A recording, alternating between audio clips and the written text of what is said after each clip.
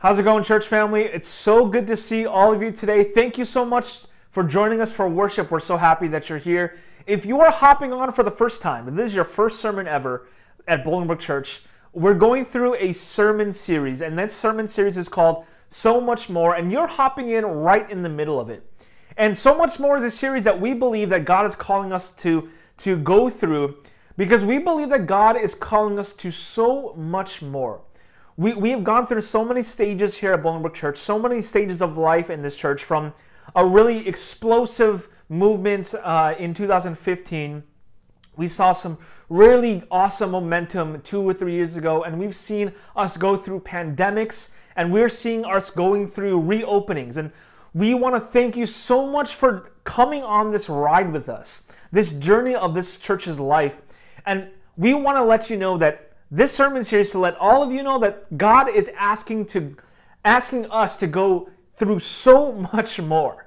That if we thought that we saw some exciting things in the past, God has so much more waiting for us. In fact, in the Bible, Paul, like one of Jesus's like chief followers, and he became a follower after Jesus ascended. And he actually was on his mission of killing Christians, and Jesus changed his life into a person to now make Christians, to baptize new Christians, to disciple new Christians. And in one of his letters that he wrote in the Bible, in the New Testament, he wrote this letters and he says that God wants to do so much more, that he sees things that we don't. In fact, he says God wants to show us things that no eye has seen, no ear has heard, no mind has comprehended. And he says the only way for us to see those things is if we submit to his spirit. And so I'm just so excited to see what God is going to be doing. And this sermon is to see what God wants us to do next. To see what this what's the next level of so much more. And last week we went through um, an amazing story and in that story, in, in, in, last week's sermon, we, we understood that, that God is, is just calling us to be a trace in a space where we are. Esther, the story that we went through back in her time, she was a trace of God uh, in the space that she was in Medo-Persia, in this town of, in the city of Susa. And in Esther's book, there's no mention of God's name, but in her actions, in Mordecai's actions, in all of their the Israelites' actions, they showed traces of God where they are, in the spaces they are. And wherever space you're in right now, God is calling you to so much more. And today we find ourselves in the life of Paul as he goes through different cities to create churches. And we all have our idea of what church. When I say the word church, you have an idea in your mind what that looks like. And Paul understood this too. Paul understood that the people that he was going to had their own idea of what church looked like. And God has his own idea of what church looks like. And the, the problem is sometimes we don't always see eye to eye with God. Even as a pastor, there are times where I look at my past, look where God has brought me through, and I say, that did not look like what I thought it was. If you were to ask me seven, eight years ago, no, no, no, if you were to ask me at 18 years old, that I would, if I, if you would believe that I would be a pastor, I would say you're crazy. No, no, no. i am going to be a UFC fighter. I was really big into martial arts. I'm going to be a UFC fighter. I'm going to join the the UFC. I'm, I'm, I'm going to be a mixed martial artist. And then if you were to tell me that I'm going to be a pastor, I would say that I'm crazy. But now when I'm looking back at my life, I realize that God intended so much more for my life. And God has something so much more for your life too. And when we finally see eye to eye, when, when our lives and God's heart become in sync, we see church happen. Let, let me say that again. When our hearts and God's heart become synchronized, when we want the same things that God wants, He can truly say that His will is being done on earth as it is in heaven. That our lives become synced, our hearts become synced, and that is when church finally happens. So I really want to get into this into this word into this message because there's a lot to say. So we find ourselves in the book of First Corinthians, chapter 2. Sorry, chapter 3. And what Paul is doing, for those who are still getting acquainted with the Bible, and it's totally okay that you do. Uh, in the New Testament of the Bible, the latter half of the Bible, we see this guy named Paul, who was an, uh, a commissioned disciple of Christ, going through all the churches in the area, going through all these cities and creating churches. One of the first churches he created was a church called Corinth. So the church in Corinth was occupied by a group of people named Corinthians, and it's very simple. And as Paul is preaching to these people, he lay, he what he would do is he would go to the churches, set them up, and then he would come back and check on them, and then he write them letters, and in, in a way of giving them guidance to where God wants to take them.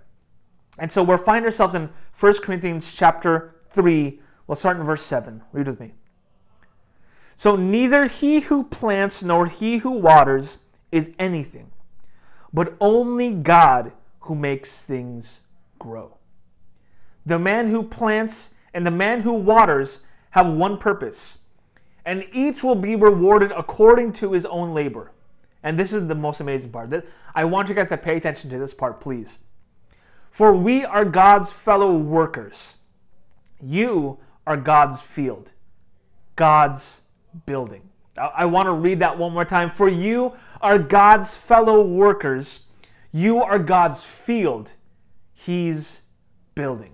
It's interesting in this verse here, it says that you are God's field, and he's talking about vineyards likely. And the idea of vineyards is he wants to grow, he wants to cultivate in this field. He wants to make things from what looks like dirt, from what looks like nothing, from whatever situation you find yourself in. You might find yourself in dirt. You might find yourself on a, a, a plateau, but God desires to grow you because God says you are his field that he is working on. He says you are his building. In the chat right now, I want you guys to type, God is building me. Type in the chat right now, say, God is building me. Let's pray together. Father, I pray that today that you build us whatever building, whatever space, whatever field that we are occupied in right now, I pray, Lord, through your Spirit, you build your church. You build your church. You build your church. In Jesus' name we pray. Amen. So to give you guys some brief context to this chapter, there's I kind of put you guys right in the middle of it. And I want to give you guys some some some background. And he starts off this chapter as kind of a rebuke. He calls, you know, he calls them brothers, but then he also calls them infants. And it, it was as to seem that he was talking to people who kind of just don't get it. it's interesting, like, you know, a lot of us have grown up in church and we don't, things don't actually click in our heads until a lot later in our lives. Have mercy. That we might be surrounded by good things and still make bad decisions. Amen? That happens to all of us. That's the Christian life. That God is so patient with us in our growing and in our stagnation that He's willing to work with us wherever we are. And sometimes when it feels like God is nudging us, it's just to get us off the plateau into the valley or the pasture or the peaks that He's calling us to. So in verse 1, he starts off like this Brothers, I could not address you as spiritual, but worldly mere infants. He's, he's calling them children. Now, I don't like to be thought of as a kid, and I know a lot of you that maybe you might find yourself in a, in a spiritual space where you feel like you know quite a bit, but there are things that even the people that are that are so knowledgeable in the Bible that can miss. And we could even be so high up that we forget the basics, we forget the fundamentals. And he's calling them to realize that they've missed something. that They, they've, they're forgetting to see things in a spiritual light. They're looking at things, what he says is worldly. Now, what, what's worldly? Let, let's keep reading. He says, verse 2 I gave you milk, not solid food, for you were not ready for it. Have mercy. it's really interesting that we always ask God to lead us we always ask God to lead us, and we believe that God is a waymaker. We sing that song over and over again. We ask God to be a waymaker. Paul says that you're not ready for it, actually. You're actually not ready for what the Holy Spirit will do. One of my mentors here in, in Illinois was telling me, we're talking about um, the gift of tongues, we're talking about gifts of the Holy Spirit. And I asked him, What do you think about the gift of tongues? And do you think that any Adventist would ever experience something like that? And the guy said, He says, I don't think that the Adventist church is ready for that yet. And I asked him why, because there's always something more with this guy. There's always something more that someone is trying to teach you, someone of God is trying to teach you. And he says, the reason why we're not ready for it is because we're so unwilling to change. He says that we're so attached to the things that we own that we don't actually want to see the Lord change things because that means if the Holy Spirit really revives and reforms us, that we will look different than we first started. And a lot of times in our spiritual lives, we get so comfortable, we, we no longer want to create. We talked about this last week. We get so comfortable in our lives and in the things that we built, in the buildings that we find ourselves in, that we no longer want to see God change things because when He starts changing things, there's so much more that He's leading you to actually becomes that you better stop. We actually might ask God to stop doing what He's doing because it makes us uncomfortable. It brings us out of our comfort zone and it forces us to be creative. God is calling His church not only just to have a place of pasture and streams of water, but also be creative and trust His presence even when we're going through valleys, even when we're going through periods of transition, even when we're going through paths of change. God is saying, Trust my spirit to show you, say it with me, so much more. But Paul says here, You ain't ready. he says, You're not ready. You are still worldly. I want us to take an examination of our spiritual lives right now and actually ask ourselves are we willing to look incredibly different? Because once we allow the Holy Spirit to take charge in our lives, we won't look the same. He says this, he explains what worldly looks like. For since there is jealousy and quarrel among you, are you not worldly? Are you not acting like mere men? I, want you guys to hear this. What Paul is saying, he says, You're acting like mere humans. He, God wants to bring us to a new level of humanity, to the realness of humanity, the way He always dreamed us to be. The way that we're living like right now is not the way God desires us to see. He wants to see humans become so, say it with me, much more. Listen to this. For when one says, I follow Paul, and another says, I follow Apollos, are you not mere men? So, just to give you guys some context here, there are two people in this church. Paul comes and he starts the church and then he he teaches them, them the fundamentals of of being dead to Christ and alive to Christ, to be dead to the law, alive in Christ, to be one with the Spirit. He talks all about this in chapters one and two, and they understood this. He plants this seed, he plants this gospel, he plants this belief, these fundamentals, and then Apollo stays and he waters it. He says he takes care of it. L- listen to this. After all, what is Apollos? What is Paul? Only servants through whom you have come to believe, as the Lord has assigned to each his task. I planted the seed, Apollos watered it, but God made it grow. You, you see, Paul was the person who started the church, while Apollos was the one that kept the church going. And now he comes back and he sees this division saying, I like. We think that it's only relegated to Corinthians. We think it's only relegated to the Bible. This would never happen in churches where I like the way uh, Pastor David preaches. I like the way he gives Bible study. No, I like the way Pastor Dave does things. No, no, no. I like the way Pastor Dave leads worship over Adrian. That's, a, that's a shout out to Adrian right there, our worship leader. Hey, Adrian, sometimes people might like worship the way I do it. I don't know. But what happens is here in Corinthians, in the church of Corinth, of Corinth there's a division between leaders, ideologies. There's a division between how we want things to do, how we want things to happen. There's a division between what we want from church. And Paul says that's worldly. because church is not about what I want. He says it's what God wants. We, we always see church as a place what church isn't Chipotle where you get to pick and choose what you want in it. No, no, no. Church is a place where God is growing, God is continually cultivating, and you get to be along the ride.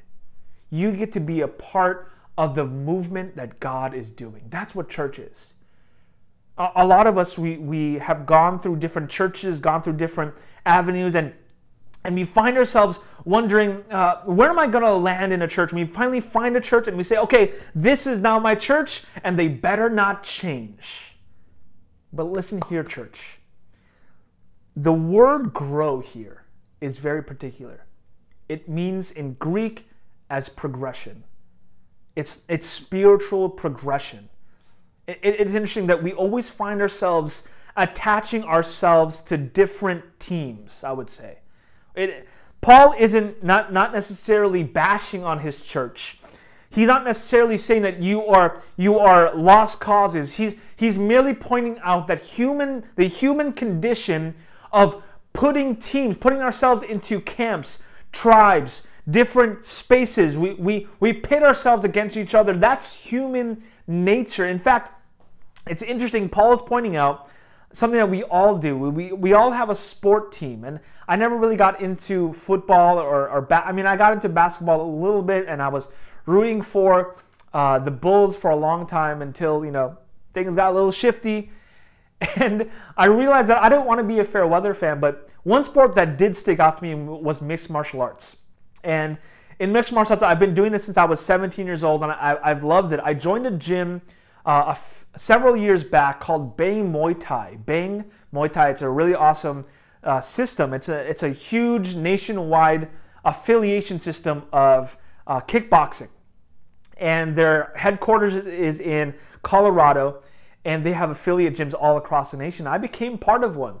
And one of their star fighters was this guy named TJ Dillashaw. TJ Dillashaw was the champion at the time and when I joined the gym, that's that's all we would study. We would study his movement, study the way he put things together. And this is the cool part. This is what I'm talking about. This is a little illustration for you all to, to understand what I'm saying. Is when whenever he would fight, and whenever he would get his hand raised, I would watch these fights. I would watch these these uh, the UFC events, and whenever he would fight, I would feel like that's my teammate. I would feel like, yo, that that's that's me. I, I want to celebrate when they celebrate. And when he got his hand raised, I raised my hands too. I raised my hands like I won that fight. Because we put ourselves in these teams and it we feel like when they win, we win. And so Paul finds the Corinthians doing the same thing. They they find themselves putting themselves into teams, team Apollos or team Paul. And Paul is saying, "No, no, no, no, no, no. I need you guys to be on God's team because we're all just servants, he says. He says, all of us are just doing what God has called us to do. I can only be faithful. Pastor David, Leslie, Adrian, we can only be faithful. Moses, we can only be faithful to whatever God is calling us to do. Because we're not on any team here other than Christ's team. Everyone type in the chat right now, I'm on Christ's team. Because listen to this.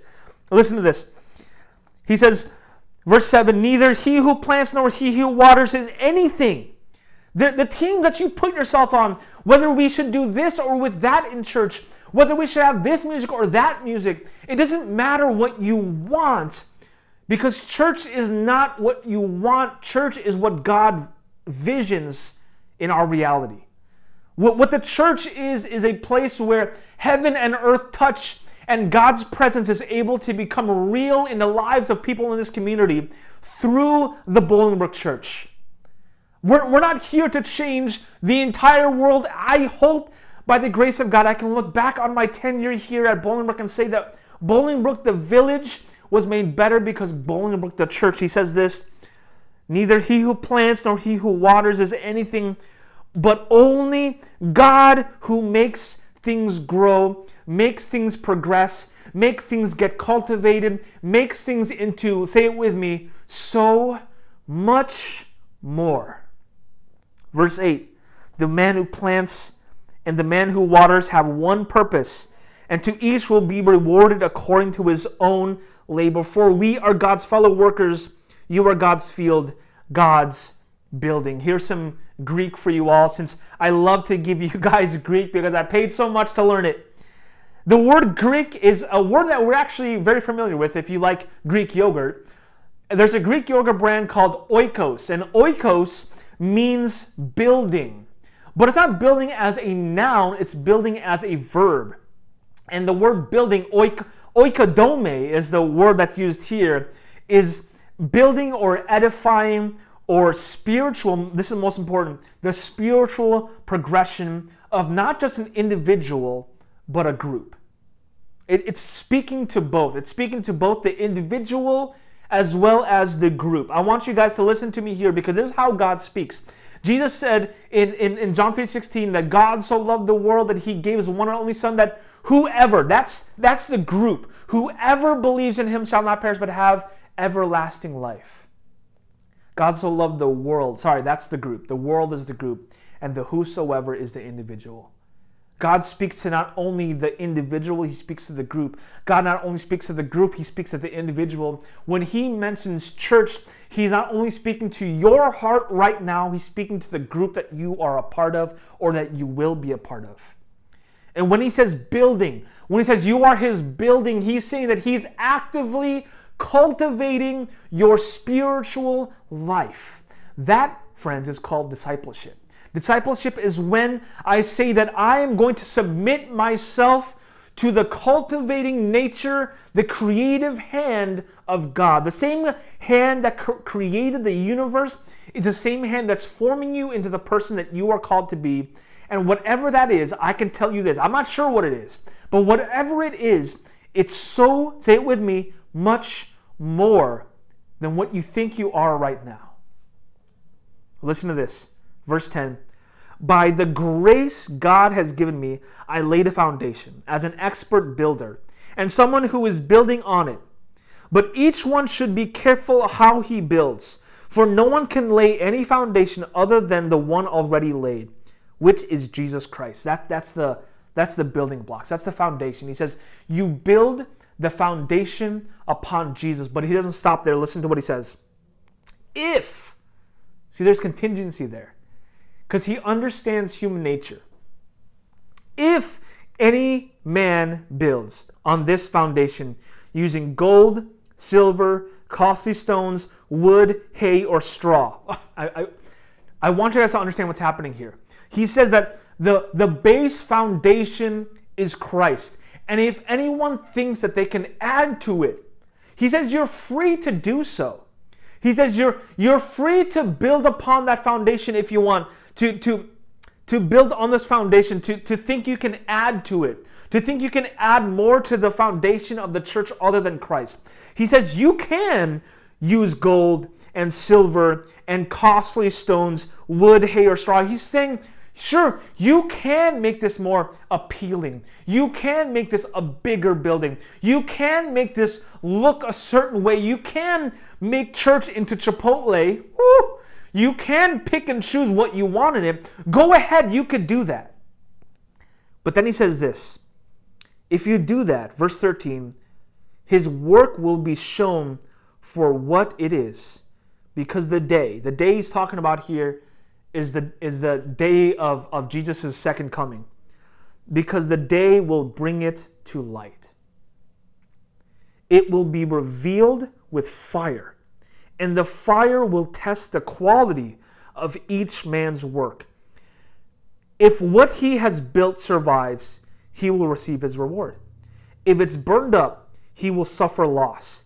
He himself will be saved, but only as one escaping through the flames. What, what, what Paul is saying here is that if you try to make church your Chipotle, if you try to make church a place where you get to pick and choose what goes into it and and and and take out the foundation of the thing that is meant to make it grow which is Jesus if you think you can make church about what you want so listen to this the, the story of Mary in, in, in the Gospels when she comes to Christ crying at his feet with tears.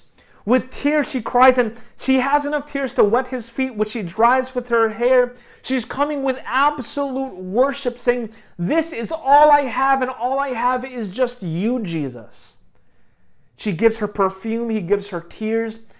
That, I, I don't know what would cause someone to, to create tears. You can either be a great actor and make those fake tears if you could, or those are tears of someone that is in such a time and an experience of worship because of the forgiveness that she's experienced, because she realizes her own nature of wanting to do her, things her way. Mary was a person that tried to do things her way. The Bible says that this woman was full of sin. But, but she says that I tried things my way and they didn't work. The, Paul is saying you can try things your way, but at the end of the day, if the fire comes, and things burn down, what comes out? What survives? And this woman, Mary, comes to the foot of Jesus and says, Lord, I, I have nothing left to give. I have nothing left to choose. I have no way of trying to figure out what my life is about, what my church, what my worship will be about. So here I am. Could you imagine, church, if all of our church just came to Jesus and, and every single time we got together, we're just saying, God, let your will be done, not mine. Because my will tried, and, and my will is the reason why I'm at the foot of the cross. Paul says, go ahead and try. Try to build church your way. It never lasts. Just like the fig leaves that Adam and Eve put on themselves as a way to, con- to control the things that they were they, they wanted to, to, to use to a way to control their lives they god knew that they would always have to go back to the fig leaves. What we choose church doesn't last. But god is asking us to build something that lasts something say this with me something so much more something that what paul is saying here outlasts the fire, outlasts the burning, outlasts the, the fires of life. Last year, we went through a fire. We went through a, a time where they said you cannot congregate in groups. But, uh, church, we never closed. The church never burned up. We lost the access to the building, but our hearts were still focused on God. That's what God is looking for. He's looking for a people that says, if everything burns up, if everything falls down, if everything goes away, we still have the foundation of Jesus Christ. We still have our worship to the one true God. We still have each other. We still have each other. Listen to this. The, the one thing that this, this story brings me to is a story in the Old Testament in Daniel chapter 3, where three young men who were in a tyrannical government, who were forced to worship another God, said, Absolutely not. We won't make worship, we won't make our church about what we want or what the world wants. We will make it about what God wants. And the, the tyrant king of that time, Nebuchadnezzar, sent them to the fire, just like what Paul is talking about here. And listen to this, chapter 3 of Daniel. As, as they were approaching the fire, they say this to the king of that time, O Nebuchadnezzar, you, we do not need to defend ourselves before you in this matter. We do not need to defend ourselves. there is this idea that um, uh, th- there is this idea that how do we defend a God that is all powerful? And there was this one theologian, he says that I do this, I, I, I defend God the same way I would defend a cage lion. I simply let him out of his cage. What if we actually let God out of the confines of what we want church to be and finally let Him do what He's wanted to do with the church? And that is grow it, that is cultivate it, that is to bring it to say it with me, church, so much more. Listen to this. We do not need to defend ourselves before you in this matter, for if we are thrown into the blazing furnace, the God we serve is able to save us from it and he will rescue us from your hand, O king. They had a belief that God's intention for their lives was good. And they said, God can and he will rescue us. And then this is what Paul is talking about. This is what real spiritual maturity looks like. He said, they say this, verse 18, the most amazing verse, I, I think, in, in, this, in this chapter. But even if he does not, because Shadrach, Meshach, and Abednego, those three boys, understood that church was not about what they want. It's not about even what they think God wants. It's about what God wants. Because they understood that even if they die, even if their building, their bodies burn, God still has, say it with me, so much more in store for them. Listen to this. Listen to this. Going back to 1 Corinthians chapter 3, verse 16. Don't you know that you yourselves are God's temple? You are that building. I, I can imagine the Corinthians shaking the building and saying, hey, this, this looks good. This, this looks sturdy. But no, no, no. Paul says, no, no, no. Not that building. You yourselves are God's temple and that God's Spirit lives in you. If anyone destroys God's temple, God will destroy them. For God's temple, listen to this, family, is sacred, and you are that temple. Jesus says, Aren't we more than just flesh and blood? Aren't we more than just the clothes that we wear and the things that we choose? He says, You are a, listen to what he says, a sacred temple. You know what that translates to in this sermon series? God is saying you are so much more, listen to me, than a building. You're so much more than a field. You're so much more than what you think church is. God is preparing Bolingbrook Church to expand its borders, to expand its walls, to show it so much more.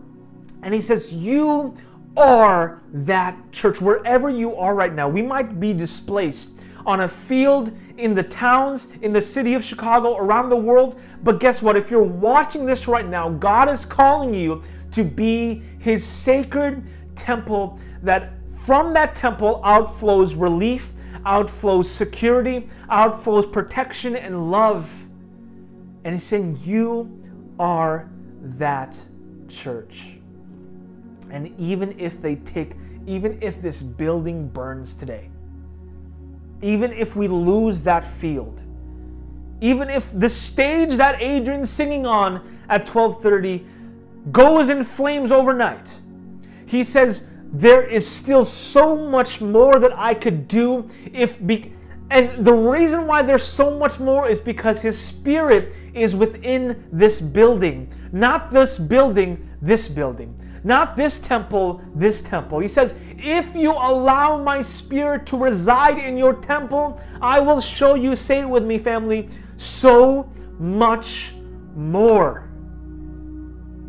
God is asking, He's not trying to build buildings, He's trying to build faith. He's trying to build faith because faith is what comes out of fires. We can't take this building to heaven. We can't take that field to heaven. We can't take that stage to heaven. You know what will be in heaven, though? All of us. Look to the person next to you. Look to the person next to you. Think about the people that are in this church right now. That is what Christ is after. That's what he says survives the fires of God. And he says, those things that come out of the fires are the things that will make it into heaven. Not buildings, not drums, not, not, not the, the praise and worship, not disciple town, but the people of those spaces are the things that will make it out of the fires into the heavens because God is not building buildings, He's building faiths. Because faith, with faith, with faith, listen to me, with faith, when He builds your faith, he can do, say it with me, so much more. Thank you for watching and tuning in. If you've been impacted today, we want to invite you to do three things. Number one, create a space for yourself by joining the BC community, subscribing to our YouTube channel, and being with us every weekend. Number two, create a space for those you're connected to. Share this message with your family or your friends, with your coworkers, or anyone that you know might benefit from this. And number three, create space by praying about partnering with us by giving and journeying alongside us as we continue to create space for the people God misses most. If this is something you would like to do, go ahead and click on the giving link in the description below. And know that as a Bolingbrook Church, we are continuing to create spaces for the people God misses the most by sharing the good news of Jesus to those who are far from God, not just in Bolingbrook or Chicagoland, but all around the world. And we want to thank you in advance for partnering with us. God bless.